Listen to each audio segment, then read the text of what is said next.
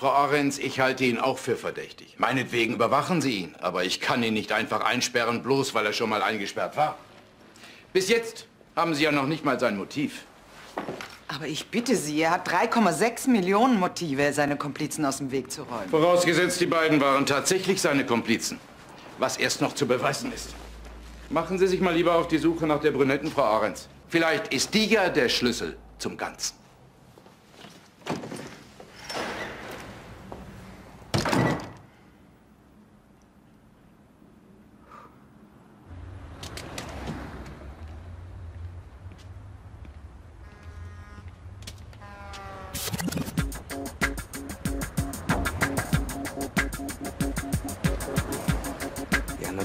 Den nötigen Abstand. Er geht jetzt gerade von der Wache weg und läuft auf das Taxi zu und steigt ein. Ich muss auflegen, ich melde mich nochmal. Wiederhören.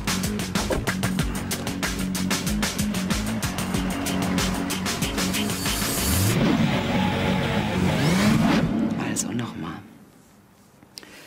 Es könnte auch andersrum sein. Seine beiden Freunde wollen ihn übers Ohr hauen. Er kommt ihnen zuvor und rächt sich. Und bei der Gelegenheit hinterlässt er in dem Zimmer seines Opfers rundherum seine Fingerabdrücke. Also so blöd ist er nicht. Er konnte ja sogar sie überzeugen. Moment. Er hat mich überredet. Das ist ein enormer Unterschied. Und auch nur, weil ich sehr schwach war. Und überhaupt war es ein Fehler, sie einzuweihen. Nein. Nein. Wo wollen Sie denn hin? Nach Hause. Viktor.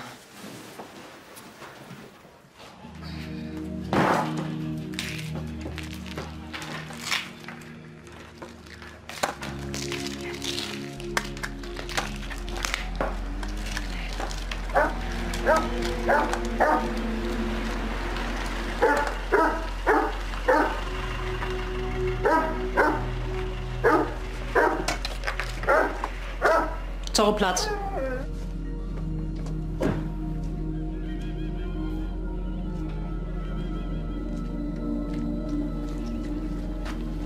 Legen Sie bitte das Messer weg, Frau Weger. Danke. Ich bin. Das heißt, ich war ein Freund Ihres Mannes.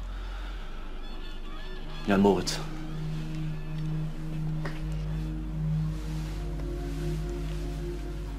Es tut mir wirklich leid, was mit Albert passiert ist. Und? Was wollen Sie?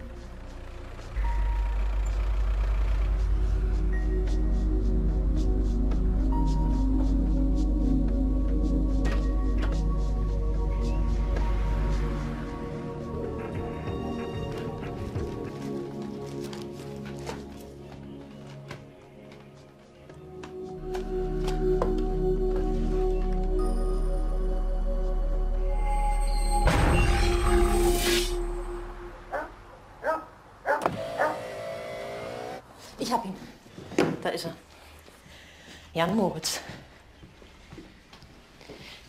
Woher weiß ich denn, dass Sie wirklich der sind, für den Sie sich ausgeben? Ich meine, ich habe Sie doch nur einmal gesehen.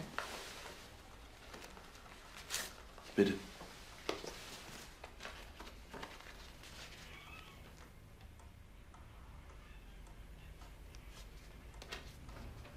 Danke.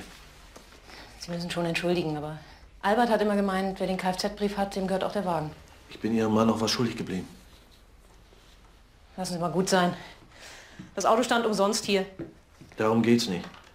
Ihr Mann hat mir mal was geliehen. Von mir können Sie sich nichts leihen. Fehlanzeige. Nein, Frau Weger, ich will es Ihnen zurückgeben. Spätestens nächste Woche. Das ist lieb gemeint. Aber mit 2,50 ist das hier nicht getan. Es ist auch wesentlich mehr als 2,50. Ach was. Und das hat er Ihnen geliehen? Albert war ein feiner Kerl. Ja, das war er. Aber immer klamm. Polnische Gänse sind eben billiger als unsere. Ich habe nicht ein böses Wort von ihm gehört, nicht eins.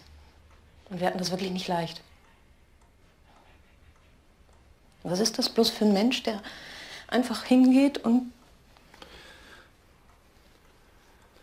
Das wüsste ich auch gern. Glauben Sie es mir. Es tut mir wirklich leid mit Albert. Sie haben doch nichts damit zu tun, oder?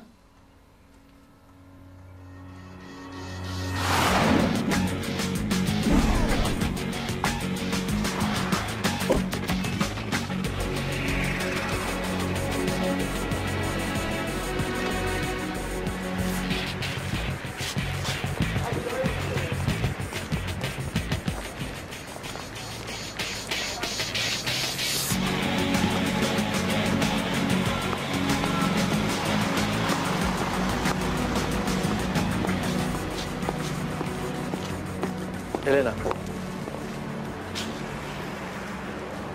Was willst du? Die Verabredung war, du lässt mich in Ruhe. Bitte sei still.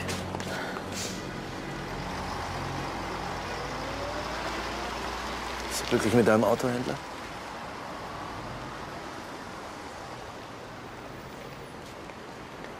Sind sie hinter dir her? Du musst mir helfen. Nein, ich bin raus.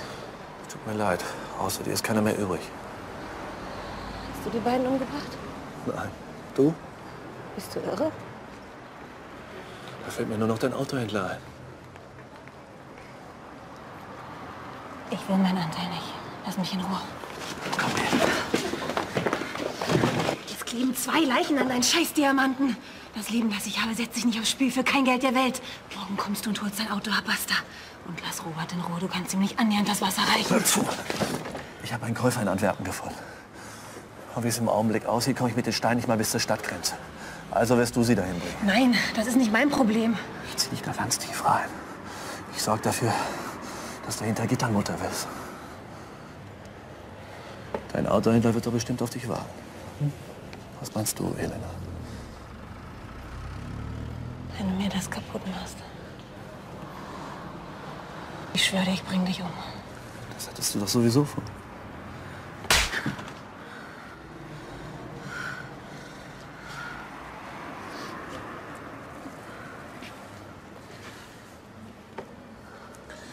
Die Diamanten sind im Wagen, im Tank, eingeschweißt in ein Stück Schlauch.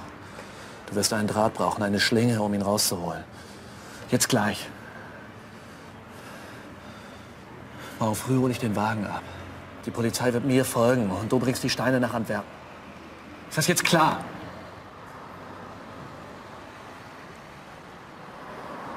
Vier Jahre Knast gehen an niemandem spurlos vorbei.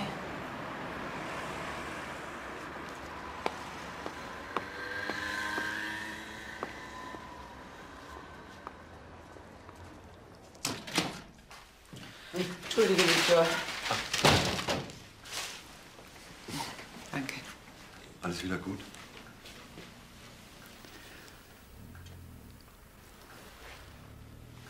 Nein, es ist nicht gut.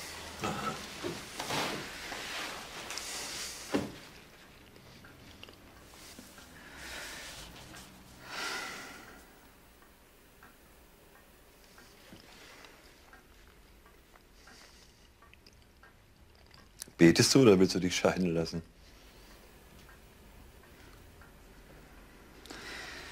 Viktor, ich finde, wir sollten. Sollten was?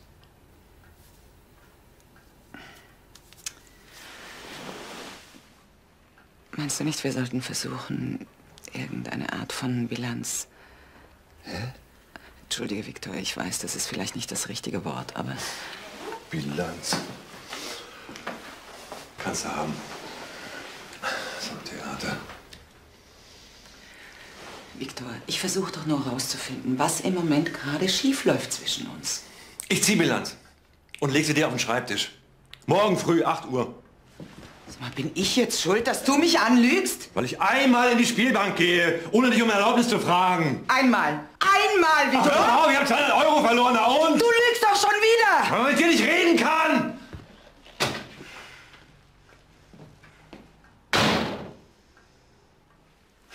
Ich lüge ihn an und werfe ihm auch noch vor, dass er mich anlügt.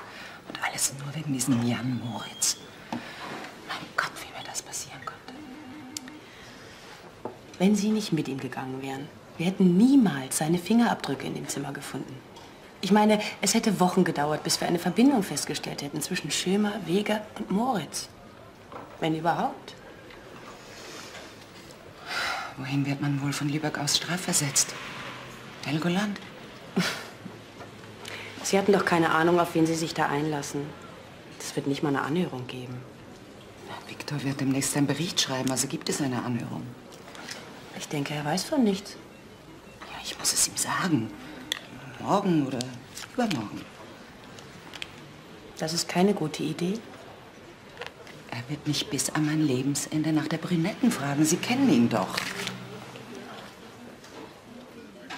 Es ist, weil er es Ihnen nicht zutraut. Das macht Sie so wütend. Wäre das Haar blond gewesen, hätte er Ihre Fingerabdrücke auf der Bettkante gefunden. Sie wären sofort aufgeflogen. Aber bei mir kommt er nicht mal einen Ansatz auf diesen Gedanken. Das heißt doch nichts anderes, als dass ich für Viktor das Alte bereits erreicht habe, indem ich für andere Männer nicht mehr attraktiv bin. Also das Gefühl habe ich nicht. Ja, das ist ja auch nur rein äußerlich.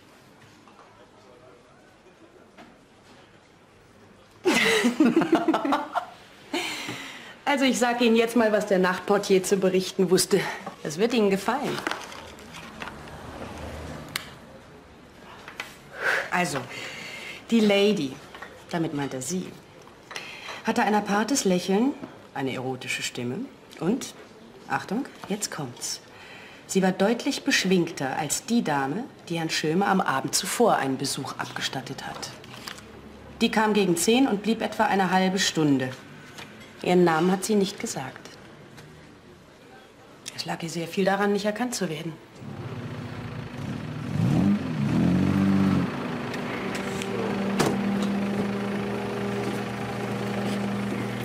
Ja, meine Herren, also damit das klar ist, dieser Wagen wird von Ihnen und von Ihren Mitarbeitern nicht gefahren. Ja. So. Und von wem kriege ich jetzt eine Entlastungserklärung? Sind Sie das? Von mir. Frau Hindelang, Sie haben 1998 für das Juweliergeschäft Weishaupt in Hamburg gearbeitet. Ich habe für diverse Juweliergeschäfte gearbeitet. Auch für das Geschäft Weishaupt in Hamburg. Sechs Monate. Dann lernte ich meinen Mann kennen. Und kaum hatten Sie gekündigt, raubte Jan Moritz die Weishaupt-Filiale aus. Wobei es ihm spielend gelang, die Alarmanlage zu überwinden. Es gibt eine vereidigte Aussage von mir. Was wollen Sie noch? Sie haben ihm nicht zufällig verraten, wie man das System ausschalten kann. Wieso sollte ich? Ich kannte ihn überhaupt nicht. Ja, ja. So steht das im Protokoll. So ist es auch. Was ist mit Egon Schömer? Kannten Sie den? Egon wer? Schöner? Schömer.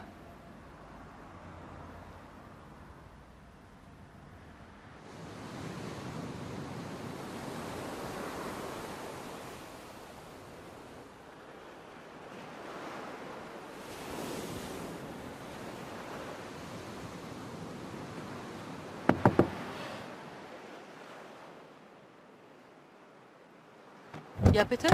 Sie sparen sich die Überwachung und ich mir das Taxi. Darf ich? Ich muss nach Lübeck meinen Wagen abholen. Sie haben übrigens sehr schöne Zähne, wenn ich das sagen darf. Danke. Fahren wir? Ah, ja. Übrigens, ich glaube, Sie wissen noch nicht das Neueste. Und das wäre?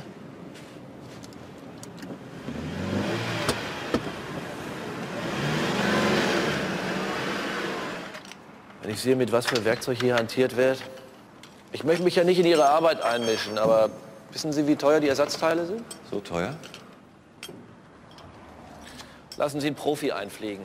Ich möchte, dass ein Experte meinen Wagen auseinander nimmt. Sagen Sie mir doch einfach, wo ich suchen soll. Dann sind wir hier ganz schnell fertig. Wenn ich was zu verstecken hätte, was ich nicht habe, dann würde ich mir ein Loch graben. Im Auto verstecken die Deutschen nach wie vor am allerliebsten. Ihnen würde sich der Magen umdrehen, wenn Sie wüssten, was wir da schon alles gefunden haben. Danke.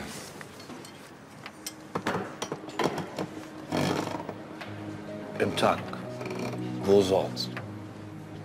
Ein Schlauch eingeschweißt. Uralter Schmugglertrick. Für so naiv halte ich Sie eigentlich nicht, aber sicher ist sicher. Hm?